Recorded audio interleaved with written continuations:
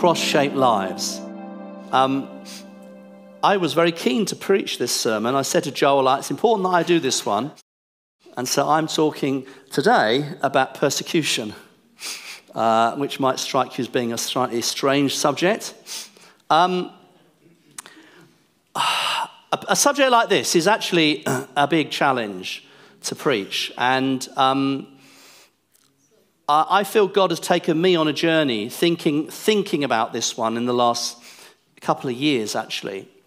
And so, um, what I want to bring to you today, um, I feel like is potentially one of my most controversial sermons I've ever, I've ever preached. So, um, I kind of feel like if there's no if there's no sense of being slightly offended in this, I'm not sure I'm doing my job right. I know that sounds a bit, oh, you're going to offend us now.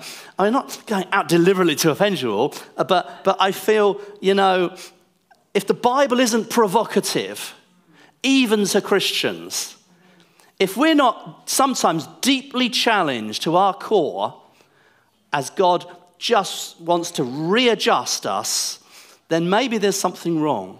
If it's all sweetness and light and a lovely, wonderful, I'm a Christian gospel and we're all clapping our way to heaven, there's something wrong. And so I want to kind of just um, bring something to you today. So let's see how it goes. Um, whether I preach this anywhere else or not depends on how well it goes today. depends on how, how, how offensive I am. No. okay. Let me start with a, of a passage. Um, there's no one text, there's a number of scriptures. So I'm going to start. They should all come up on the screen. John 19, 16 to 18. This is the New Living Translation. Most will be NIV. It says, um, Then Pilate turned Jesus over to them to be crucified. So they took Jesus away. Carrying the cross by himself, he went to the place called Place of the Skull, in Hebrew Golgotha. There they nailed him to the cross.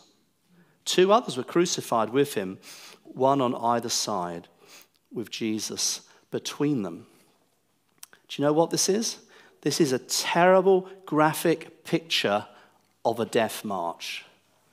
That's what's happening. You see, in the Roman Empire, everyone knew what the sight of a man carrying his cross meant. It meant he's walking to his death. There was no other destination for a man carrying his cross.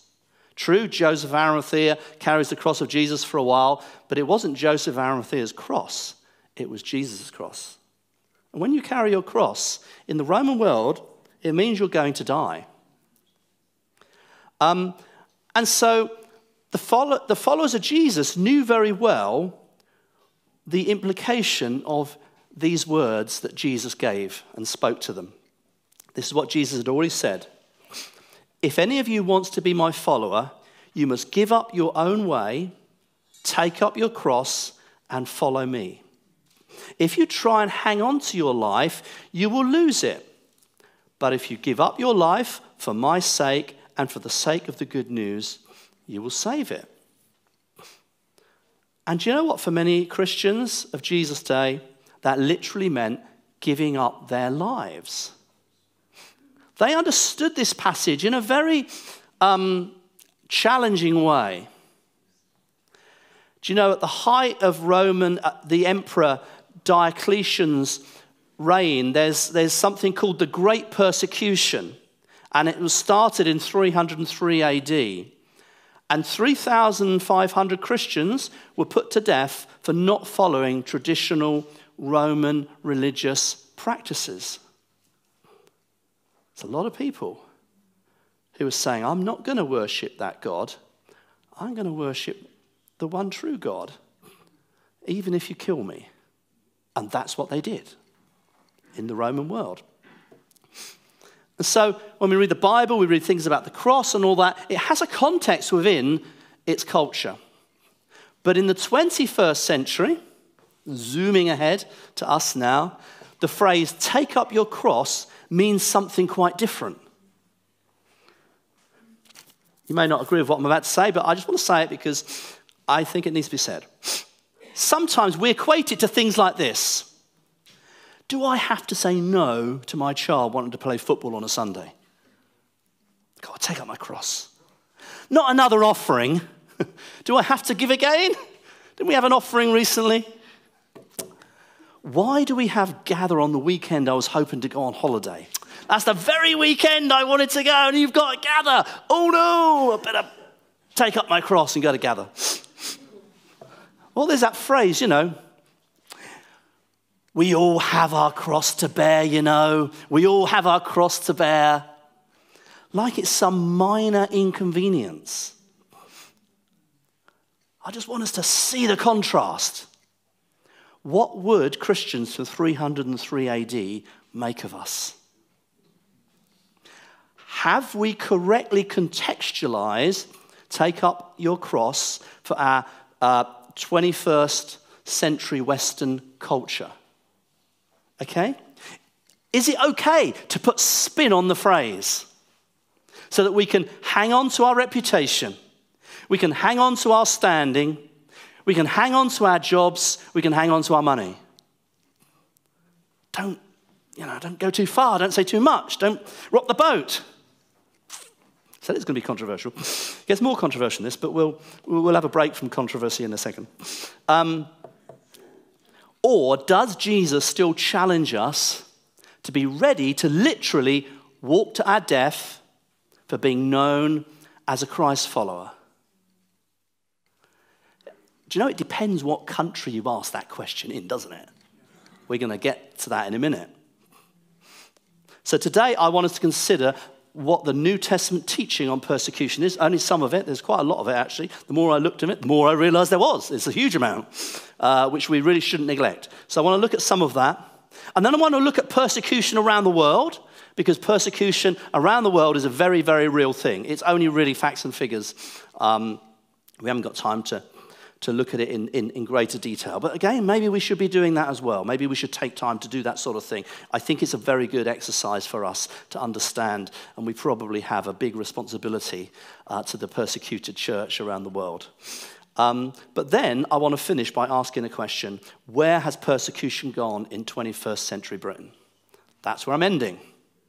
What an interesting question that is. Okay, so anyway, let me just quickly pray and then we'll dive in Lord, this is, a, for us, Lord, in 21st century Britain, this is a difficult subject for us, Lord. Um, Lord, I don't want us to feel guilty uh, or condemned in the wrong way. I don't want us to feel, uh, you know, even legalistic about this. But Lord, I do want us to face up to it and face up to the reality of what, what I believe you're teaching from Scripture. So, Lord, I pray, help me, give me uh, the right words to say, the right phrases to use. Lord, I pray for our hearts that we'd have the right hearts uh, to hear your word and to allow it to shape us and affect us uh, and change us, Lord. And then, Lord, if we need realigning, then, Lord, may we be realigned. And, Lord, also prepare our hearts. Prepare our hearts for what maybe the future will hold in our lives. In Jesus' name, amen. Okay, so what does the New Testament teach us? You see, when the disciples started preaching the gospel, they're making a bold declaration to the Roman world. They're saying there is a new king on the throne. It isn't Caesar, it's Jesus. That's what they're saying. And so Paul writes to the Philippians, this is what he writes, famous words, Philippians 2 9 to 11. Therefore, God exalted him to the highest place and gave him the name that is above every name, that at the name of Jesus, every knee should bow in heaven and on earth and under the earth, and every tongue acknowledge that Jesus Christ is Lord to the glory of God the Father. You preach that in Rome, first century Rome, you're a revolutionary. Those are powerful words. We see them as an amazing declaration. They are amazing. And we agree with them, but it's the context in which you share them will create maybe the reaction that you might get. This is a revolutionary message. There is a kingdom greater than Rome, the kingdom of God. We cannot really understand how big that was. We cannot, because we haven't lived in Rome under the Roman authority, under the Roman boot. Um, I've had to call it the jack boot, but uh, getting my things muddled up there. Under the Roman boot. We haven't lived in, under that to understand. But some people in the world kind of do live under those regimes and they would understand it more than we understand it. We need help to understand these things. We need the Spirit to illuminate them for us. You see, the Christians' insistence on one God challenged the Roman pantheon of gods. And consequently, it totally impacted the Roman economy. So when Paul goes to Ephesus in Acts 19, there's a riot. Because Demetrius, the silversmith, is losing trade in selling silver statues of the goddess Artemis. It's really impacting Ephesus. So they're rioting because they're losing money. And of course, they're, oh, you know, what about our wonderful goddess that's worshipped all over the world? The gospel has really impacted society in that moment. Culture is challenged to the core in that moment. And it's interesting that it's through it's the economy that's wavering here. Paul knew that wherever he, it was preached, the gospel would evoke a violent response among some people. Paul expected that wherever he went, wherever he's preaching, he's expecting that. We don't expect that. We don't expect that at all. We may expect, a, you know, a couple of people to swear at us or something. Get out of the way, you, you nutter. You might expect that, maybe, but we do not expect the violent response that Paul expected. So, in Antioch, um, 1350, uh, so, sorry, so, totally, let me start that verse sentence again, that's rubbish. So, in Antioch, Acts 1350, not in Antioch in 1350, that would be a completely different story at all of what was going on in the, in, in the Middle Ages. So in Antioch, in Acts 50, 1350, tells us this. Get on with it, Rodney. Tells us this Jewish leaders stirred up persecution against Paul and Barnabas and expelled them from their region. Okay? So they're in Antioch, the Jewish leaders, they, they expel Paul and Barnabas. So they move on to Iconium. But there, there's a plot to stone Paul. And so they manage to escape that plot, only for the his persecutors to finally catch up with him in Lystra, where they did finally stone him so violently that they left him for dead. Paul looked dead to all intents and purposes. That's a bloody scene, horrendous scene. What does Paul look like when he gets up off the ground. There's blood pouring down his face, maybe. There's bruises. I mean, his eyes, you know, it could be terrible, couldn't it? The swelling, who knows? It's a violent moment. but Paul gets up and carries on. Um, and then later, he goes back. Says later, Paul and Barnabas turned, returned to these new church plants. So he's planting these churches in these towns. so they then return. It says in Acts 14, 21, 22. Then they returned to Lystra, Iconium, and Antioch, strengthening the disciples and encouraging them to remain true to the faith. We must go through many hardships to enter the kingdom of God. So Paul not only experienced persecution, he understood the need to teach it to the churches. Okay?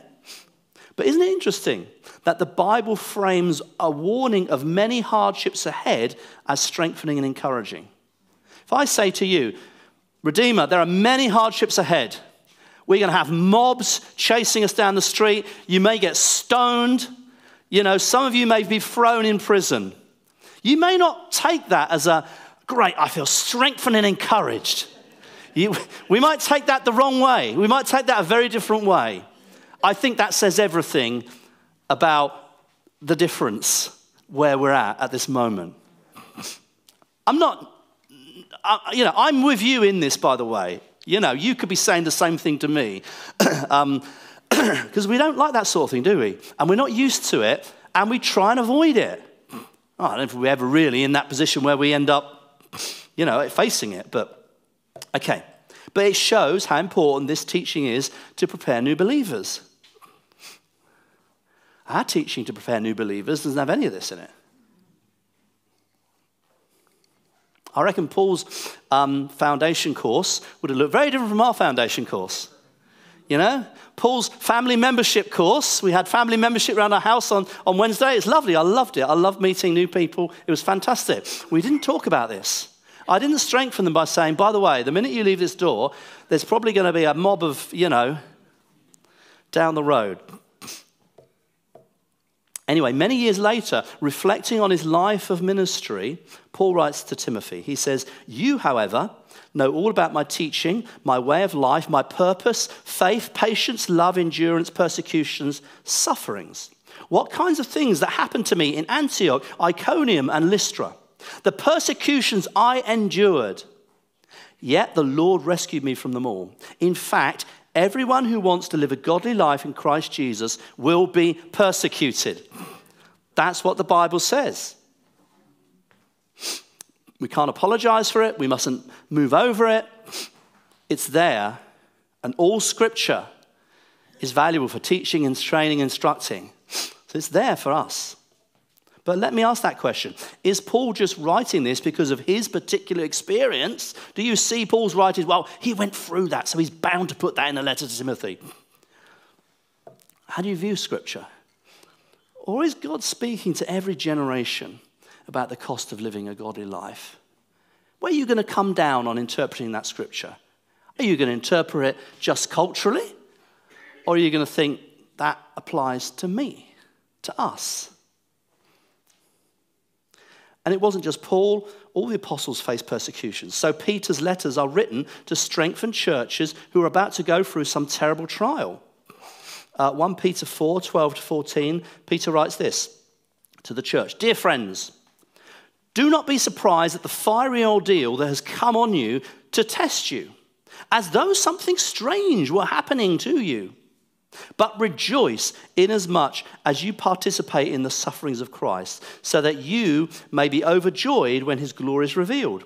If you are insulted because of the name of Christ, you are blessed, for the Spirit of glory and of God rests on you. That passage should challenge us.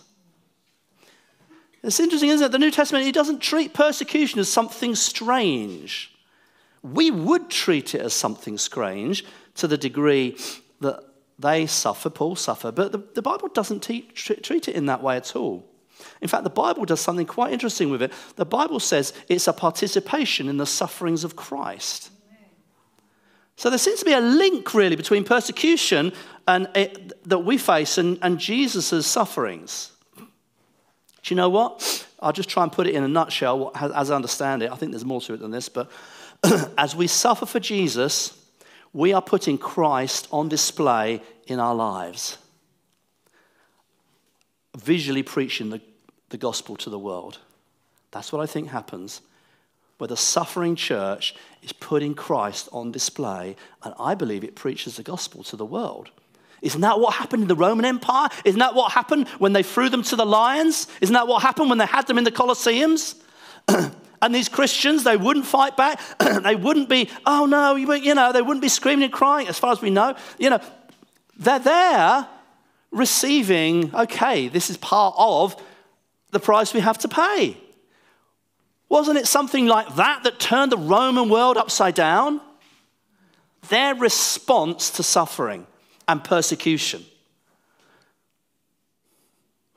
Isn't it interesting? Insults are seen as a sign that the Spirit of Christ rests on you. That's very interesting.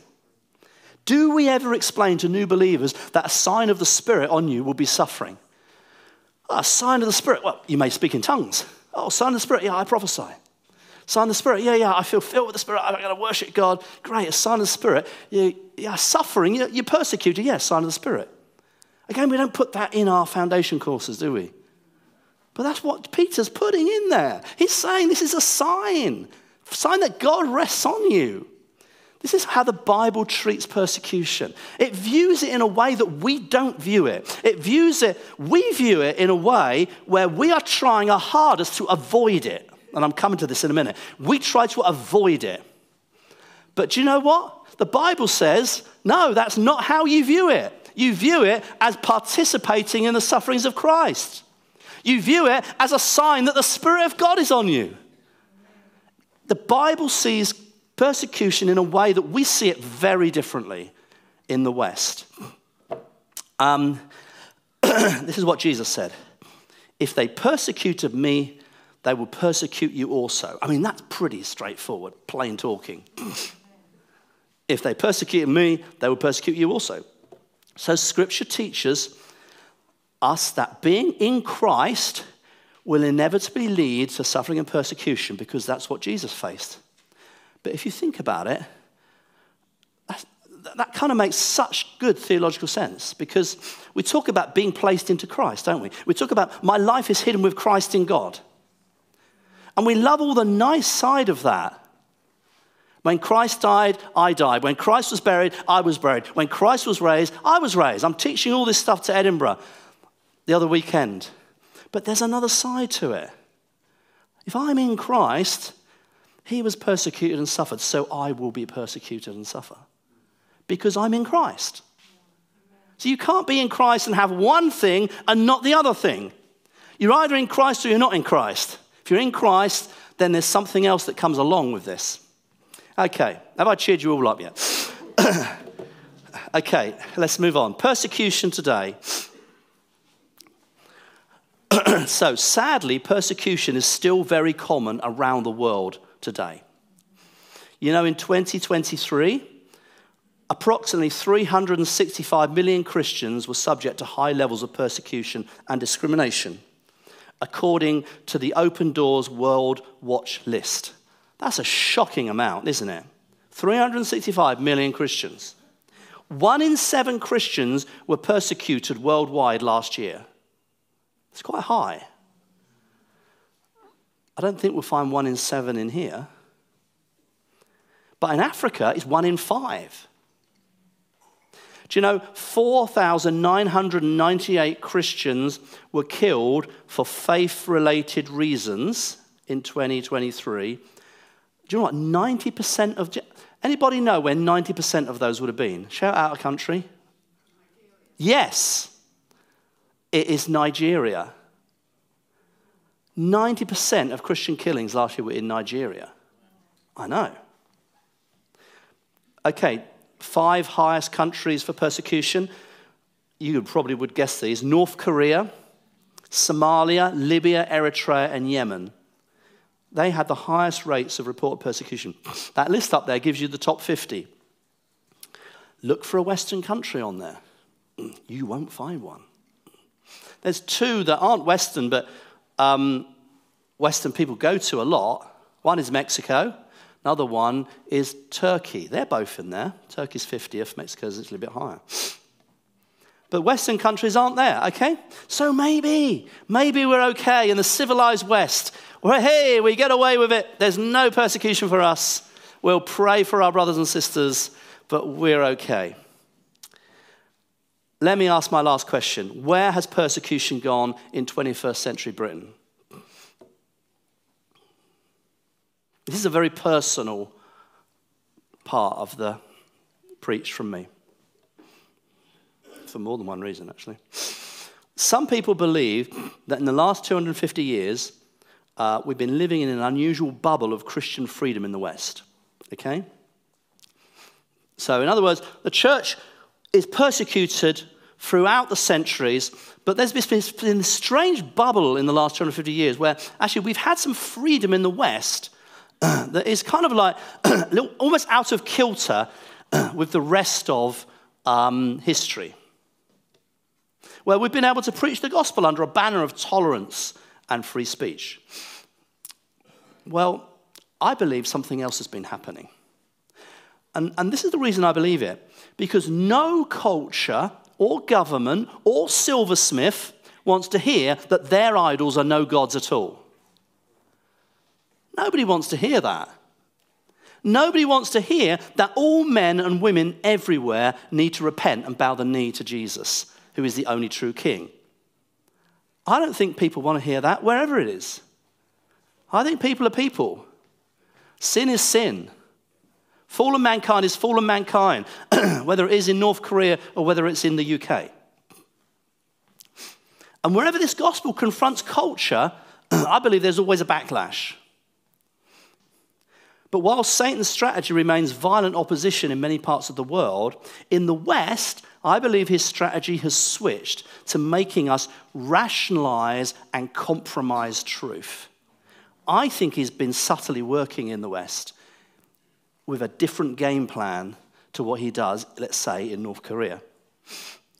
How has this happened? And it's happened, I believe, over the last 250 years. It's not like just now. We're 250 years down the line of this, and each time it's getting strengthened and strengthened. But I believe it's come through a string of worldly philosophies and theories, such as evolution, and I believe through the deification of science,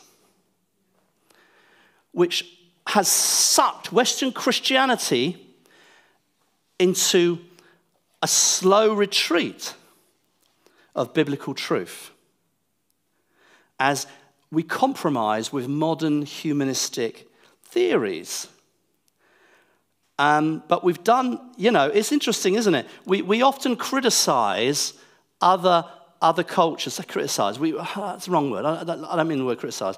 We often think, oh, isn't it a shame when other cultures, when they seem to tag Christianity onto their existing religion? So, in other words, you get, okay, they, they, they, sing Christian songs and that, and that, but they still have ancestor worship. That's what I mean. And we see that happening in places around the world. But do you know what? I think the same thing has happened in the West. I think we've done exactly the same thing. It's just that our gods are different.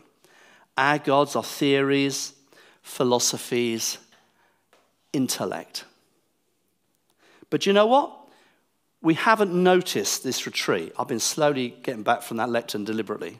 I don't know if you've noticed. I, am trying to think how I'd do that, and it hasn't really worked, I don't think, because I'm about to trip over some wires we haven't noticed this retreat because it's bit by bit. It's decade after decade. It's generation after generation.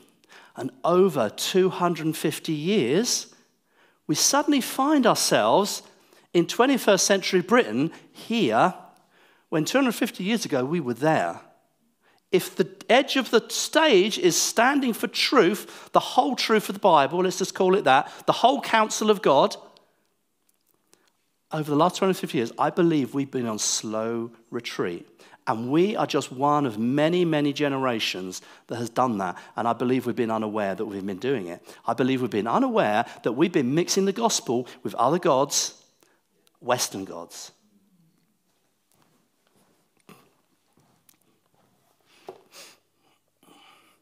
Our gods are theories, our gods are philosophies, our gods are our intellect. We may not have ancestor worship. Uh, we may not have, you know, other idols in the images of a kind of like a, a, a vaguely human looking God. But we have gods.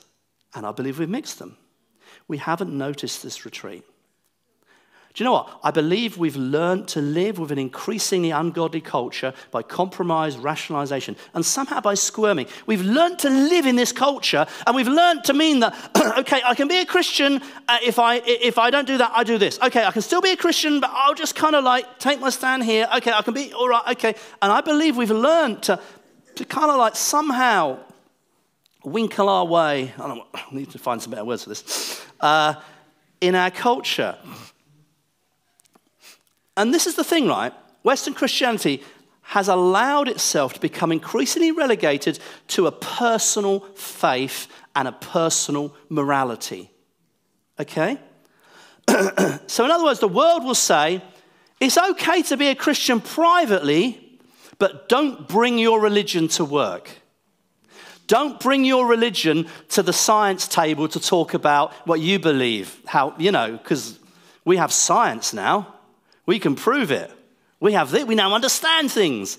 You know, religion, well, it has a good place for personal morality, but we're a clever culture now. We're, we're a clever society. We're evolving, not understanding at all what that word means and what the end game of evolving would mean. That's another talk. Um, if we took our stand for truth at work, I think we'd find an intolerant society that would persecute us. I'll have an example. Um, it's an example from our family. It's Sue. Okay, so when Sue um, I think it was her first major job after she'd graduated at university in London. She got a job with the RNIB and she was brailing. And they trained her up to braille and she learned how to do that. She still knows how to do it today. She told me the other day, I said, What does that mean? She said, Oh, I'll just read it in braille for you and tell you. So she can still do all of that because uh, they trained her well. Um, but then she had this magazine that she had to do. And she starts brailing the magazine and just working her way through it. And then she comes to a section on horoscopes. And she's become a Christian. Maybe uh, a year and a half ago, maybe two years, something like that. And she feels the conviction of God to say, You shouldn't be doing that. You should not braille horoscopes. So she's with a dilemma. What does she do in her work? So she very bravely makes a stand. And she talks to her boss and she says, I'm a Christian and I, I you know, I'm enjoying doing this work and, and you know, but I, I can't do the horoscopes. They, they kind of like, they basically clash with my faith. I don't believe that's right. And she gave them an answer. Look, why don't you, I, I, well, let's, can I swap some work with somebody else? So maybe somebody else in the team can do the horoscopes and I will do another part of the magazine. So I'm not trying to get out of work. Um, and the guy said, no, you've got to do it. Turns out later he used to write horoscopes. Isn't that interesting? He says, No, you can't. And she says, very bravely, but I'm very sorry, but I'm not going to do it because I'm a Christian. So she's bringing her faith into the workplace right at that point. And he says, Well, okay, then, well, you're, you're not going to be able to carry on with your job. And so the long and the short of it is she um, had to face a tribunal and they give her a union rep, and she gets a union rep, and the union rep is a Buddhist, and he absolutely slates her for her faith. So I found lot of good that was. And so she goes up before the tribunal and she loses her job. So she got sacked in modern Britain for saying, No, I will not braille horoscopes. When you push culture, it will become intolerant and persecute you. I can guarantee you. That is what will happen in our culture. We've learned to work around it. So Sue's response could have been, Well, Lord, don't let me read it. None of it affect it. You know, I'm just going to do it. Maybe everybody that reads these horoscopes, may they get nothing out of it. She could have had a Christian response like that. That's the way we squirm. That's called the squirming bit. I'll somehow justify what I do and I'll kind of pray over it. I don't see that in the Bible, that approach. She took a stand. Do you know what?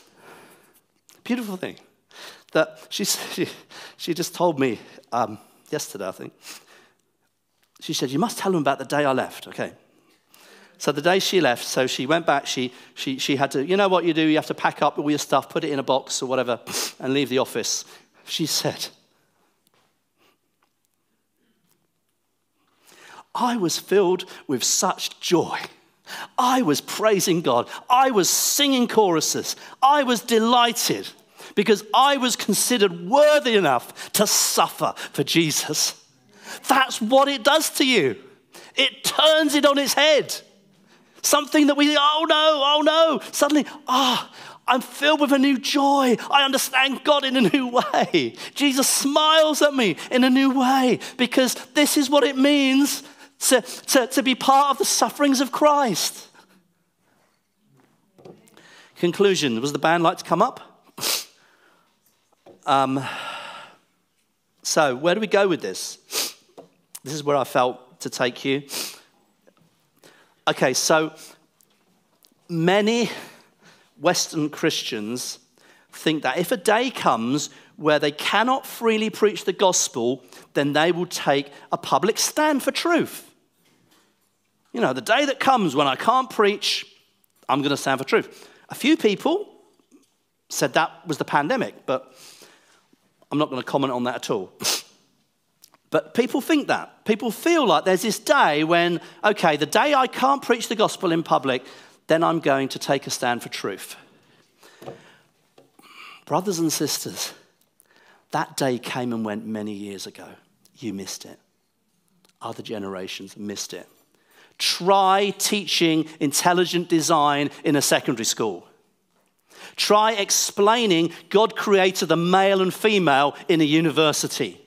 Try and pray within 150 meters of an abortion clinic. Culture has been pushing us back and pushing us back. And we've been rationalizing it, agreeing with it. Okay, okay, okay. And we've been on slow retreat. Which is the generation that will finally hold a line in public and be willing to preach the whole counsel of God and pay the cost? Because it's paying a cost. I want to finish with this. The Bible talks about David's mighty men, okay? Here's one of them. Let me just read a few verses of this mighty man. Eleazar, from 1 Chronicles 11. Eleazar, one of the three mighty warriors, he was with David at Pas Dammim where the Philistines gathered there for battle, at a place where there was a field full of barley. The troops fled from the Philistines. That's, the Israel, that's, that's David's troops. The troops fled from the Philistines. But they, that's Elazar and David, but they took their stand in the middle of the field. They defended it and struck the Philistines down, and the Lord brought her out a great victory. God is looking for mighty men and women in the West who will take a stand, they'll take their stand in the middle of the barley field when everybody else is retreating and fleeing. Which one of you, which one are you in that story? Will God call you Eleazar? Or are you one of the troops? As a church, which one are we in Redeemer? Are we David and Eleazar? Or are we the troops? Can we stand? I'll briefly pray and then we're going to sing.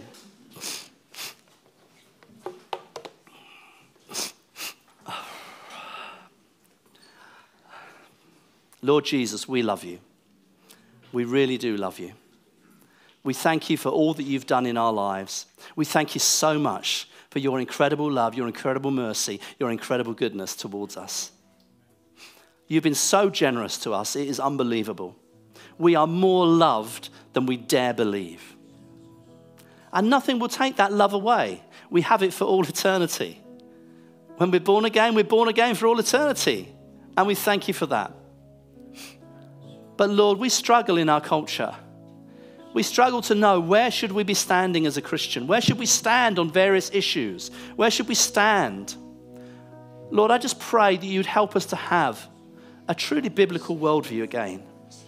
That we would understand what is our role in our generation as we are confronted by all sorts of things.